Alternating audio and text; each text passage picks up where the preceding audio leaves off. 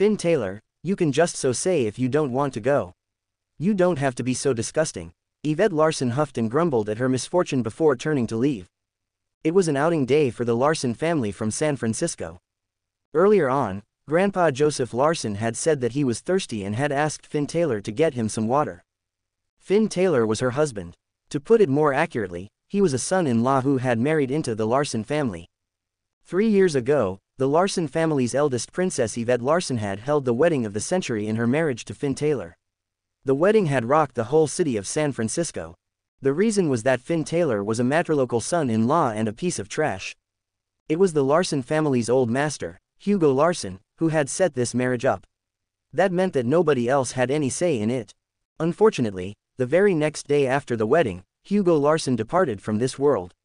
As such, Finn Taylor was plagued with yet another identity, a jinx. Over the past three years, Finn Taylor had never been able to do a single thing right. In fact, he had constantly caused trouble for the Larson family. Even now, he had managed to screw up when he had simply been tasked with getting some water. All they had done was give him $80 to bring a few bottles of Evian bottled water over. What he had come back with was a huge jug filled with water. Didn't he feel embarrassed letting his grandpa drink water from that bucket? What could Finn Taylor ever do right? He would definitely be lambasted by his grandpa when they returned home later. Yvette, listen to me. Evian bottled water is the same as the water in this jug, but this is even cheaper. Finn Taylor hurried forward to explain himself. Cheaper. Finn Taylor, you know that grandpa is old. There will come a day when he will pass away. Everyone in the Larson family is trying to suck up to him to win his favor. We're the main branch of the Larson family, but unfortunately, I'm not a male. I also don't have as high a status as the family's second branch. Because I married you and embarrassed the Larson family, I can't even compare to the third branch now. Can't you buck up a little and make me proud? How much can a bottle of Evian bottled water cost? Why did you have to buy a jug of water and embarrass our family? Yvette Larson had lost all desire to talk to Finn Taylor. Over the past three years, she had gained a clear understanding of him, he was here to drag her family down and to torture her. Oh, that piece of trash is back. No sooner had Yvette Larson and Finn Taylor returned than Quince Larson Yvette Larson's younger cousin from the family's second branch got in to stir up trouble. Yvette, I'm sorry for troubling that piece of trash for carrying such a huge jug of water over. Is that jug of water for your family to wash their hands or to wash their feet? Yvette Larson remained indifferent but drew a clear line between Finn Taylor and herself. Finn Taylor was Finn Taylor. Yvette Larson was Yvette Larson. They were scolding Finn Taylor, not Yvette Larson. No, this is the water I bought for Grandpa. It's for drinking, Finn Taylor replied earnestly. It was met with a hearty chortle. Drinking water, I say, do you guys drink water from such jugs at home? Look, I always get Grandpa mineral bottled water from Veen. I guess you've never heard of it before. I got my friend to bring this back from abroad. A 750 milliliter bottle like this costs $21. I guess your jug of water didn't even cost $10. Finn Taylor shook his head. You're right, it cost me only $7. Ha ha ha, yet another hearty chortle sounded. Yvette Larson shook her head helplessly. Is he truly a fool, or is he just pretending to be one? How could he answer so honestly even when faced with such a question? Joseph Larson flipped the bottle of Veen bottled mineral water around and analyzed it. I didn't know that this water was so expensive, Quince. No wonder it tastes so good. You're so thoughtful. It's only right for us younger ones to do this, Grandpa. It's good as long as you like it. Grandpa, look at this. As he said this, Quince Larson took out a sandalwood box. Just one glance at that wooden box made it obvious that it was no ordinary box, much less the box's contents. Everyone in the Larson family gathered around, wanting to see what precious things the sandalwood box held.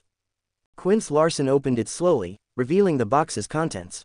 It was a piece of jade a piece of jade that had been carved into the word, longevity. Grandpa, this piece of jade's name is, abundant life. As your grandson, I'm wishing you an abundant and long life. Joseph Larson received the piece of jade with a wide smile plastered on his face. Everyone in the Larson family praised Quince Larson for being a filial grandson. But when Yvette Larson and Finn Taylor heard Quince Larson's words, they glanced at each other in disbelief. Yvette Larson reached into her own pocket, wanting to take something out. Yet, she was afraid to do so. Finn Taylor could no longer hold it back. It didn't matter how much Quince Larson bullied him, but he wouldn't stand still if he bullied his wife. Grandpa, Quince Larson's piece of jade is fake. Finn Taylor's words were like a bolt out of the blue. In an instant, dozens of eyes from the Larson family turned their gazes to him. Abundant Life was crafted by the master craftsman, Carlos Simon. It was sold for 111,000 at an auction in New York last week.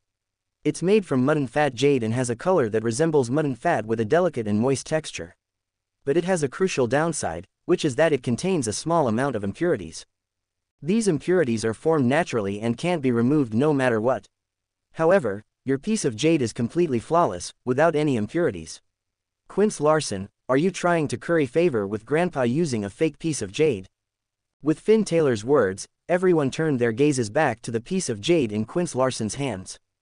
Indeed, this piece of jade was completely flawless, without any impurities. Just like Finn Taylor had said, it did have some minute differences from mutton fat jade. Finn Taylor, don't malign others. You're just a good-for-nothing son-in-law. What do you know about mutton fat jade? If you say that this piece of jade is fake, then it is. Quince Larson felt a little guilty because of Finn Taylor's words. It was true that this piece of jade was fake. To be more accurate, this piece of jade was a good piece of jade as well. However, it wasn't a piece of mutton fat jade, much less it being abundant life. Of course, this piece of jade is fake. Last week, I followed Yvette to New York. The one who bought the piece of jade for $111,000 at the auction in New York was Yvette. Yvette, take your piece of jade out so that Grandpa can have a look and compare them. That way, he'll be able to tell whose is real and whose isn't. At that moment, everyone's eyes fell on Yvette Larson once again. Because of that, Yvette Larson had no way of escaping. She took a piece of jade out of her pocket, its shape was identical to Quince Larson's. Grandpa, this is the real, abundant life. Finn Taylor and I personally bought it at the auction in New York to present it to you as a birthday present. We hope that you will live a long and abundant life. The two pieces of jade were handed to Joseph Larson simultaneously. In an instant, everyone in the Larson family seemed ready to explode. She had been rather speechless when she first got the cards. The numbers seemed to be foreshadowing something. Here, this is yours. Yvette Larson threw the card with the number, 520 feet over to her husband. Very quickly, the lucky draw began. They announced the numbers for the 10 consolation prizes first. Me, I'm 23. I won. Someone from the Larson family elatedly rushed up to collect a doll. Others who hadn't won anything felt a little disappointed. Next were the runner-up prizes, of which there were five. Nobody in the Larson family won anything. Finally, it was the moment everyone had been waiting forth one and only grand prize. Now, may I invite Mr. Logan Yates to draw the winning ticket for the grand prize. Mr. Logan Yates is a well-known entrepreneur in our country, the head of Chicago's Yates family, and a reputable figure featured on the Forbes list. Finn Taylor narrowed his eyes as he watched Logan Yates go on stage. What is Peregrine Hall trying to do? Logan Yates reached out and picked a card out from the pool. Number 520. Whoosh. As Logan Yates's voice sounded, everyone whipped their heads to look at the cards in their hands. Although they all knew that they hadn't won the grand prize, they couldn't help but look at the numbers over and over again. Yvette Larson didn't look at the card in her hand. Instead, she turned her gaze to Finn Taylor. She clearly remembered that the card in his hand had the number, 520 feet on it. Finn Taylor placed the card in Yvette Larson's hand. Go get your prize. Yvette Larson was stunned. Then, a voice boomed out. A golden hairpin, a pair of golden bowls, a pair of golden chopsticks, a golden comb, a golden locket, a pair of golden earrings, a golden necklace, and last but not least, $11.11 million in cash. Now, let's give our warmest applause to welcome our lucky number, 520 feet on stage to receive their prize. In an instant, everyone's jaw dropped, and there was pin drop silence.